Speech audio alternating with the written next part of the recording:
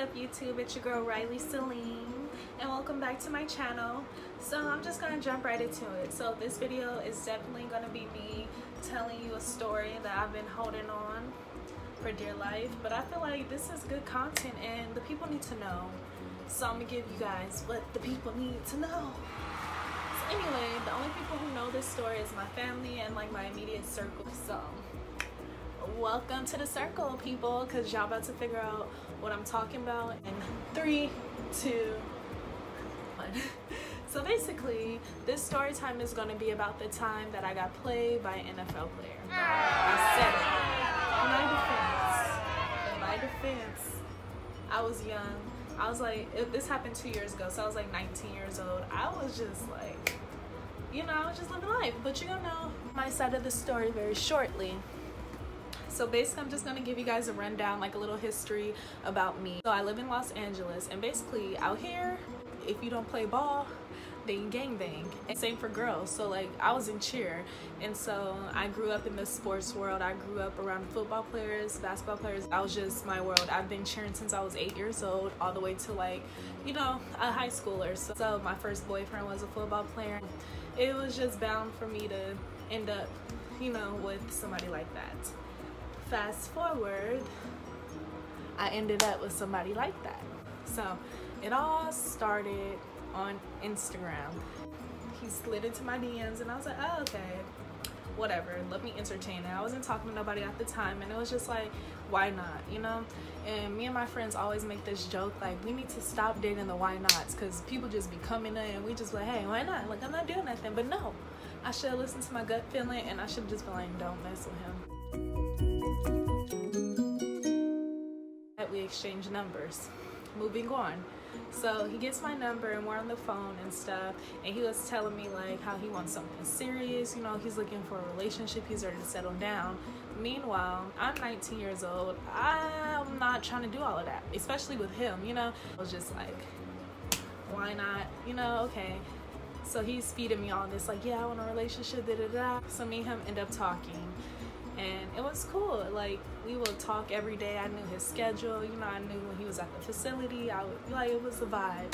So eventually, he invited me to a football game. So I was like, okay, yeah, I'm gonna bring my friend. So he got us tickets to the game. You guys go watch that video. It's on our YouTube channel. Yeah, so I went to the football game and it was cool. I was sitting next to his family and stuff. So, you know, it was a good experience. The game was boring as fuck. I fell asleep. So after the game, we went out to dinner. I met the family and it just seems like everything was going good. Okay? Everything. I was chilling. It was we wasn't doing too much. We was vibing. Like he lives far from me, so I was traveling, and you know I was just doing way too much that I shouldn't be doing. I was just doing way too much. Period. Okay. So I was pretty much over there every day, like spending the night, and that was my dude. So I thought. So time goes on, and you just know when, like, one, I was the type of person that I didn't speak up. Like I noticed little things and I seen signs that it, it, was other women. Like you know, I I see it. We see everything, but it's like I felt like, what am I gonna say? And now looking back at it, I should have said a lot. It was a lot of stuff that needed to be said and discussed because like he wasn't shit. Like he literally was messing with every girl, and I was just. So eventually, I snapped out of it and then we just fell off. You know, we just fell back. And it wasn't like we ended on bad terms or anything. It was just more so like a mutual thing. Like you know, you know when you hang out with somebody and you just feel like okay, this is our time. Like this is you know, our time is up. That's that was the feeling that I had the last time I hung out with him. Mind you, I wasn't even 21 yet. So I don't even know what he was doing when he was going out. Strike number one. So I didn't know nothing, what was going on at the clubs. You know, I'm just sitting at home when my life is passing me by. like literally, just sitting there. I, I didn't speak up, but I knew when it was time to go. I was out of there, you know? So anyway, going back so the last time we hung out like it was mutual because at that time he was traveling back and forth for the football games because it was during football season so he was in and out of town and it was just like i was working and, and the vibe wasn't there like i clearly felt like it was somebody else a woman's intuition is always right. Like even when I was with him, it was just something about it that was like, who you belong to, who you who you pulling up on, who you sending down, down, whatever. That last time I hung out with him, I really felt like that. Like, so who who is she? Cause you just know. So me and him, we hung out on Christmas and it was cool and that was the last time we hung out.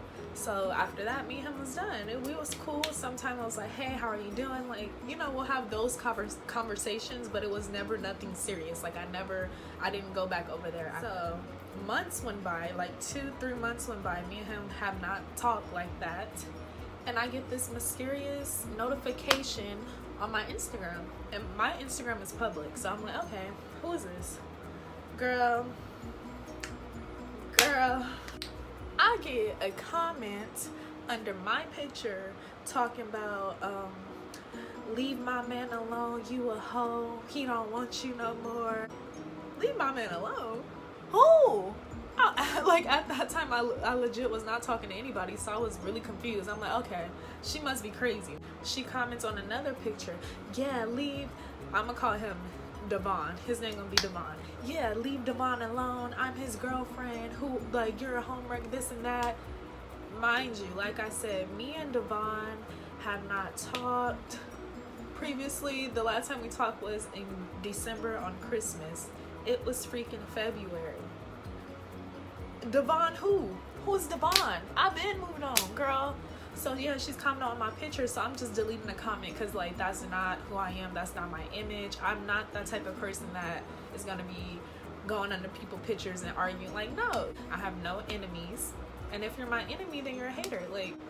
So yeah, she commented all of that. So I get on live because I want to test the theory. I'm like, okay, let me get on live and see what pops up. Sure enough, this same Fed account. First off, it was a Fed account, and I didn't even tell y'all this, but that whole day I kept getting like mysterious accounts, like watching my Instagram. It was like five different accounts, but we did have one mutual person, Devon.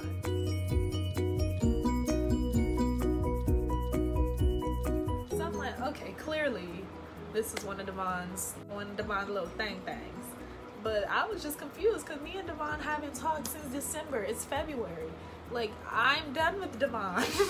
So anyway i get on live and the girl gets on the live and she's like cursing me out like he don't want you. Stop blowing him up. You're a hoe. You're this. You're that. Um he been over you. This is my man. Like just saying crazy stuff. So i'm like you comment under my picture. You get on my live. What is a girl to do? I start going back and forth. I'm talking my shit and I get off live because I'm like, this is not me. I don't want nobody to be get on my live and they see like I'm going back and forth with the freaking Fed account. So I got off live. I get these DMs now. She just came at me so foul. This girl said, You're a hoe, you're a rat, you're ugly. Um, she sent me pictures of myself when I was at the football game. So that really, that completely threw me off guard. Like, now I'm scared. Who's taking pictures of me? Like, now it's a problem. And then I was ignoring her. I was just laughing, like, okay, this is a joke. Like, I don't even talk to Devon anymore. Like, you literally can have Devon. And then she started bringing my family into it. So now it's like, now it's like, go time. Now I'm really gonna argue back with you. So I started giving her what she wanted. Yes, this is my dude. Who are you? You were not in the picture. Me and him been talking. I sent her screenshots of us and everything. Meanwhile, this me and this man really had a whole legit thing. And like I said, I am done with Devon. You can have Devon. So anyway, she kept talking reckless. So eventually I was screenshotting and I started sending it to Devon. And this man really, this is where he had me messed up. The moment I knew Devon wasn't shit. I knew Devon wasn't shit. But this is really the cherry on top, the check mark. I sent him the screenshot. I said, you please tell your girl to leave me alone? Like, we do not mess with each other, you know, like, basically, like, tell her to leave me alone. Like, it was just too much. And so now I hit him up. And he gonna tell me, oh, you probably the one behind the fake account anyway, and I got my lawyer on call.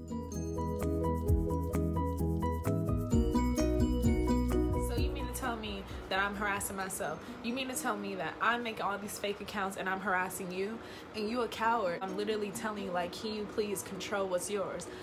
One, you already a liar because you was messing with this person throughout the whole time that me and you was even messing around. And two, I didn't even bring that up. My whole point was leave me out of it because I don't even deal with you. And he gonna say that somebody was blowing up his phone saying like it's Rylee. Who knows me? Like that's a lie. Like I wasn't calling your phone because you were blocked. I was like done, done. I'm a. I was on ten. Okay, I'm the type of person. Like, okay, I'm gonna have somebody come beat you up. But I was like, okay, let me calm down. All of a sudden, she switched up. She started sending me pictures of him. And she was like, so you and Devon really were a thing? And I'm like, yeah. Like, I, yes, I have pictures at his house. We have messages. Like, we really are a thing.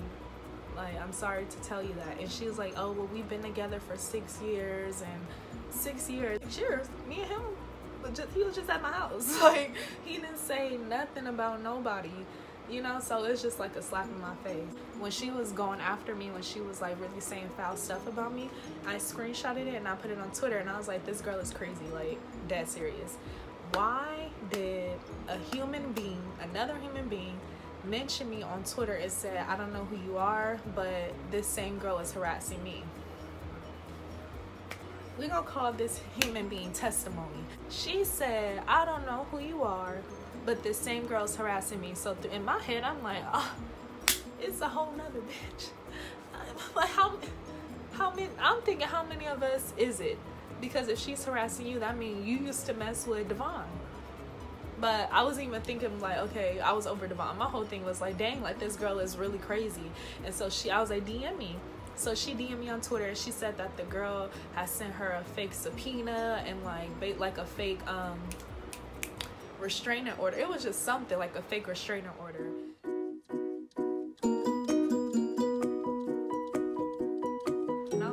She's really crazy. Like, that's crazy. And I was like, so you were messing with Devon? And she's like, it wasn't serious, but we were like talking. So I'm like, okay. I don't care. I was just like, okay. And that was that. So that was my living proof. Like, okay, Devon really is not shit. But now he has this girl going crazy over him and she's attacking each and every one of us. It's one thing for you to not be shit, but be shit by yourself. If I was just content in my space and then all this negativity start coming my way because of Devon, you provoked this craziness and now I'm getting caught up in a rapture rapture because you weren't honest and you're grown. I'm 19 years old, but you was feeding me all these lies like, yeah, I want to be serious. I want to have a relationship. I was the one that was like, so anyway, the girl ended up changing up in the gans she's like, yeah, like me and Devon, I can't believe he done this to me. Like I've been together with him for six years and I'm moving out here. I'm like, you're dumb. You're dumb. You're dumb. You're dumb. Why are you even doing all of that? Go back home. Cause Devon is gonna keep doing the same thing. And like, okay, well he been with 1, 2, 3, 4, 5, 6, 7, 8, 9, 10, 11, 12, he been with all of us. Like you're not the only one. Like he's very manipulative. He'll make you feel like you did something wrong. Like he tried to manipulate the situation when I told him to leave me alone. He's crazy, girl. These men be crazy. And it's like these athletes, that's too much. Like y'all too much. I understand that women throw themselves at you, but it's like, at what point do you say this is gross? at what number of female do you say, okay, I am nasty? What point do you say, like, I need to stop? You know, I'm good, you good. If you're gonna continue to be with Devon, kudos to y'all. I wanna be out of it. So that happened we stopped talking. I was a couple weeks later, she DMs me like, "You are fake. You trying to steal him once you realize that they signed him. Um, he got a, he signed a new deal. I don't even know. I didn't see nothing on TMZ. I didn't see nothing on that sports NFL. I don't. I didn't know that he signed a new deal. Congrats. Like you just told me that. Just like leave me alone. Cause at this point I'm like, pull up to my house. We could fight. We could fight. you can literally have Devon. Why do you want to fight with me? You can have Devon. Okay, so that happened. everything just kind of died down, and Devon ended up going his way. I ended up going my way. We're gonna fast forward to now. Me and Devon actually talked recently, and he still ain't shit. so he still doesn't own up to his shit. So I, I would never date an NFL player again. Like that type of stuff I can't deal with. Like just girls and people harassing you over a nigga. Have him. Have him love, have him love, because he's still hitting me up two years later. But I don't want him. So yes, long story short, niggas ain't shit. Niggas always come back and bitches need to hold their ground. Okay, when it's time to leave and you notice that a man is not treating right, leave. And that's my story time. Thank you guys for listening. Make sure you like, comment, and subscribe. And tell a friend and tell a friend and tell a friend.